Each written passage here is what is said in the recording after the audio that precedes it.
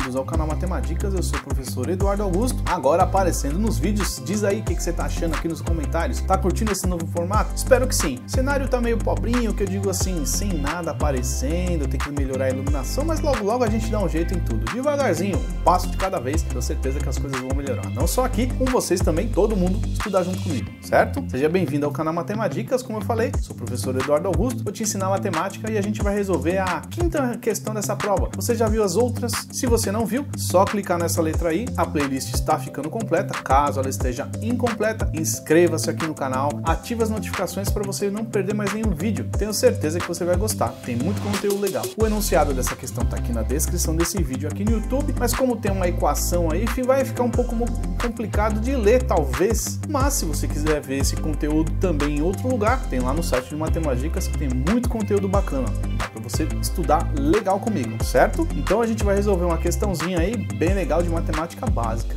Vou deixar a questão na tela, você pausa o vídeo, tenta resolver e depois você acompanha a resolução aqui comigo, ok? Então foi!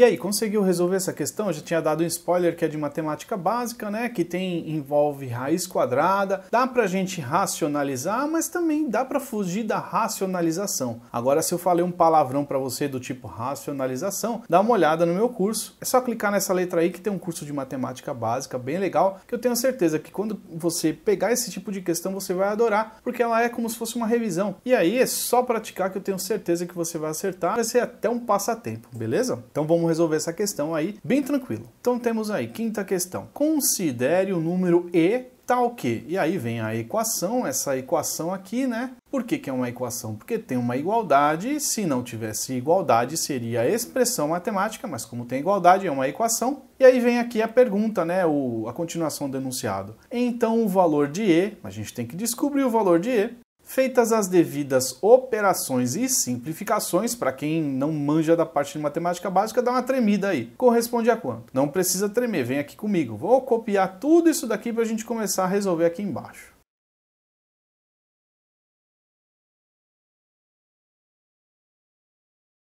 Vamos resolver essa questão, mas eu te chamei aqui para conversar porque é o seguinte: se você reparar bem, todas essas raízes quadradas não são raízes quadradas exatas, ou seja, não dá para tirar da raiz. Então a gente tem que encontrar algum jeito de desenvolver isso, porque a resposta dá um número exato. Então vamos desenvolver. Como? A gente vai começar fatorando os números que estão dentro das raízes, tá? Por exemplo, o 2 não dá para fatorar porque ele é um número primo, então não dá para fazer nada com ele. A gente vai fatorar o 8, o 32 e o 128, beleza? Então vai ficar E igual a, vou copiar tudo isso aí de novo, mas só, aumentar, só colocar essa fração aqui. Então vai ficar 8 raiz de 2, porque raiz de 2 não dá para fazer nada. Mas a gente fatorando o 8, o 32 e o 128, então vai ficar o seguinte, 9 raiz de quanto? De 2 ao cubo. Mais 10, o 32 é quanto? A gente fatorando ele é 2 a quinta. Mais 11 vezes raiz de 128, se a gente fatorar o 128, é 2 a sétima. Tá, mas a gente. Tudo isso dividido por raiz de 2. Mas a gente precisa tirar o quê? As raízes, né? Para que a gente consiga deslanchar nossa simplificação e operação, né? O enunciado já mesmo disse. Vamos fazer o seguinte, lembrando que quando a gente tem raiz quadrada, vou copiar aqui 8 raiz de 2 então a gente vai trabalhar com esse 9 raiz de 2 elevado ao cubo. Quando a gente está trabalhando com raiz quadrada, a gente tem que tirar os pares. Então a gente tem que lembrar de uma potência, das propriedades das potências e também de raiz quadrada. Então nesse caso, a gente já fatorou os números, então deu 2 elevado ao cubo, o 8. 2 elevado à quinta, o 32. E 2 elevado à sétima, o 128. Mas a gente agora tem que separar eles em, em duplas. Então vai ficar o seguinte, 9 raiz de 2 elevado ao cubo é 9 raiz de 2 vezes 2 vezes 2. Ou então, a gente já separando em duplas, vai ficar 2 ao quadrado vezes 2. Lembra daquela propriedade da potência? A gente tem a mesma base, a gente conserva a base e soma as potências. Então vai ficar 2 aqui embaixo, 2 mais 1 que está aqui, então volta a ser 2 ao cubo. Então a gente separou em dupla. A gente vai fazer esse mesmo raciocínio com 2 elevado a 5 e o 2 elevado a 7. Então vai ficar 10 vai ficar 2 ao quadrado vezes 2 ao quadrado vezes 2. Porque, ó, 2 mais 2, 4, mais 1, 5. A gente está só separando isso. Mais, vamos aumentar essa reta aqui, 11 Raiz de 128 é 2 ao quadrado vezes 2 ao quadrado vezes 2 ao quadrado. Ó, 2 mais 2, 4 mais 2, 6, então falta 1 aqui, então 2, ao, 2 sozinho, sem ser o quadrado. Beleza, tudo isso dividido por raiz de 2.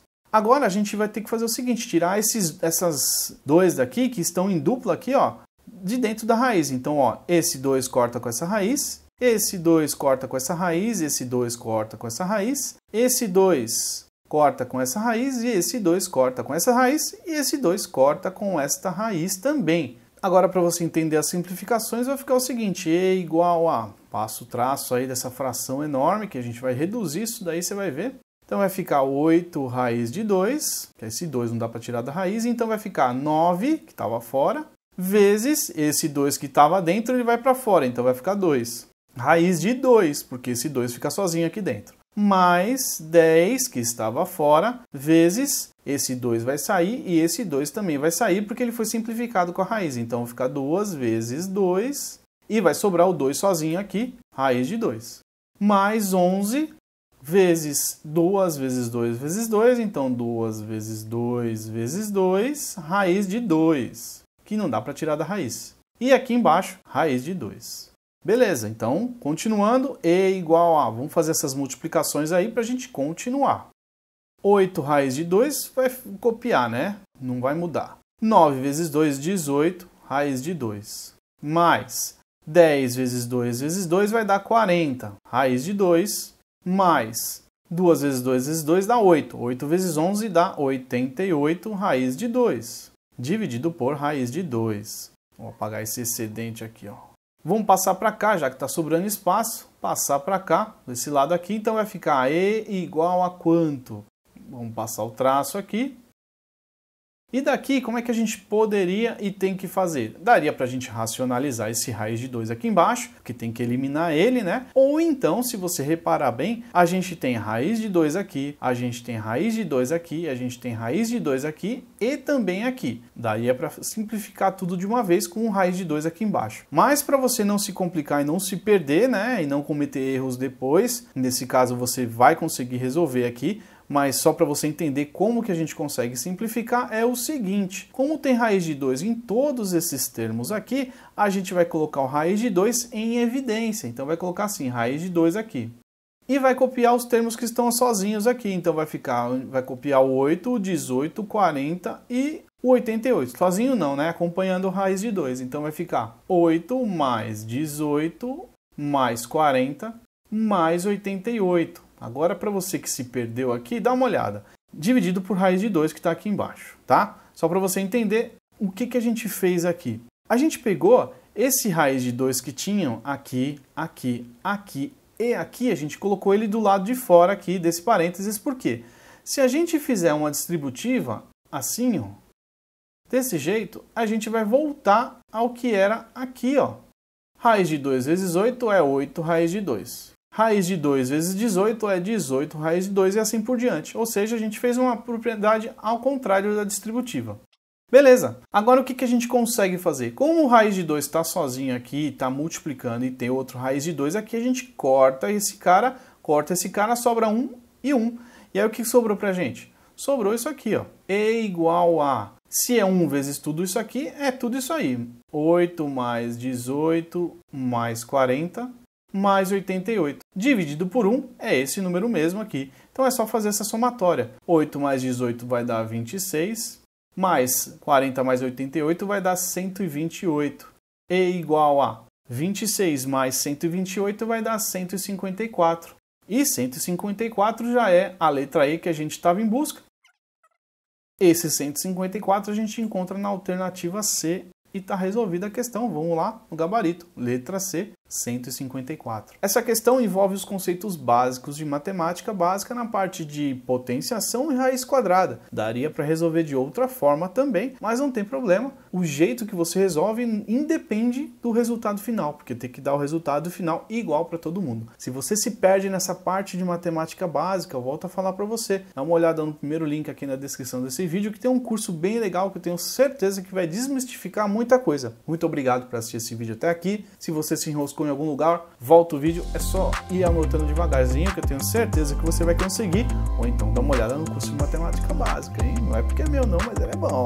Ah, vai por mim. Se você gostou da resolução, dá aquele joinha, compartilha com os amigos e bora para a próxima questão dessa prova. Muito obrigado e tchau!